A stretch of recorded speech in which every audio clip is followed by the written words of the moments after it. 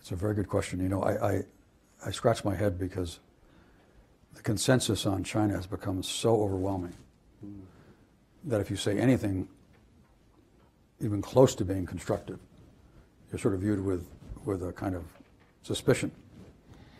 That's how bad it's gotten. So I don't know. Tr- Trying to de- deconstruct exactly how we got here is hard. Obviously, when Trump became president, and let me just say, Trump to me is going back to what I was saying about Hofstadter. Trump is both symptom and cause. So if Trump didn't exist, the underlying politics are still there. He happened to have capitalized on them rather well. Uh, but the Trump story I know fairly well because I was, in the early days, I was quite involved with it. Um,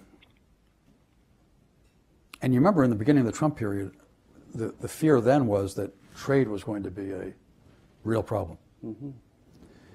And I was asked by the White House to um, help Lighthizer on the U.S. China trade stuff.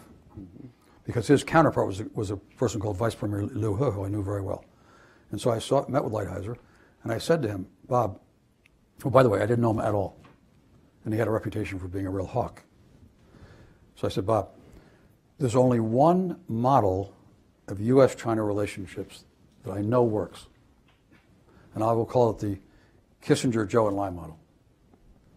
And that's this the respective presidents appoint somebody who's very senior, who's very trusted, and the two presidents say to the two people, metaphorically, get in a room and don't come out until you've got a solution. Mm-hmm. And this is exactly what Kissinger and Zhou Enlai did.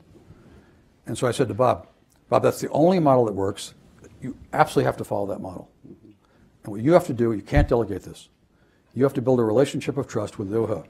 I've known Liu He for 20 years. He's a good guy. He did his master's at the Kennedy School. He speaks good English. He's an elegant, elegant man, um, and a very bright man. And I'm telling you, whatever the result would otherwise be, it's going to be better if you do it the way I've just described. And Lighthizer, to his credit, did exactly that. And the irony is, four years later, the trade channel was still wide open.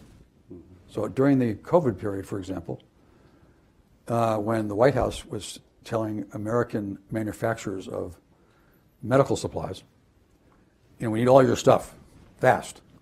And a lot of these American medical companies were manufacturing it in China. And because the Chinese COVID thing happened earlier, the Chinese government had done the same thing.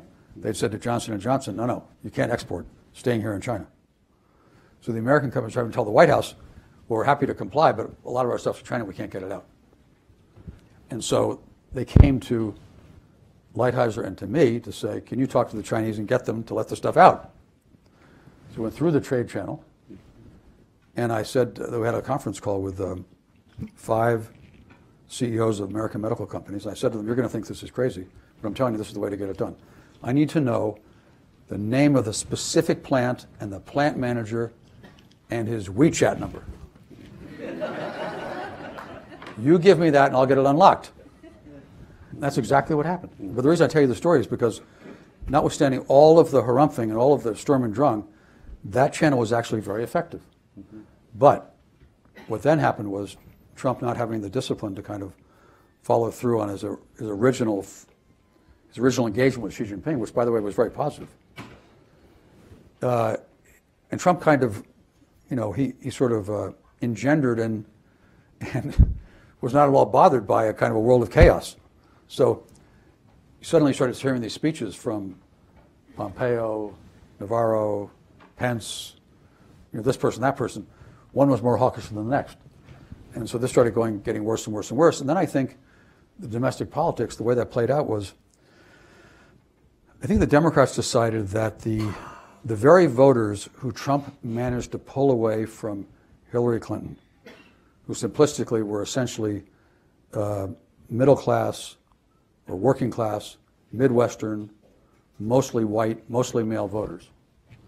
That those voters Biden was able to bring back, and those voters were on the very negative end of the China uh, issue, and therefore we, the Democrats, cannot afford to let the Republicans get to the right of us on China, Therefore, both the Republicans and the Democrats are kind of fighting it out. Who's more hawkish on China? And then once that starts going, then it engenders all kinds of behavior, which I'm sure you've all experienced. You've seen, you know, at the, at the very negative end, you've seen a lot of, a lot of uh, sort of despicable behavior on the part of the government towards Chinese Americans, Chinese nationals, particularly in academic institutions. Um, on the one hand, on the other end of the spectrum, you've seen people inspired to write and research, and some of the stuff's quite good, whether it's hawkish or not hawkish. Right.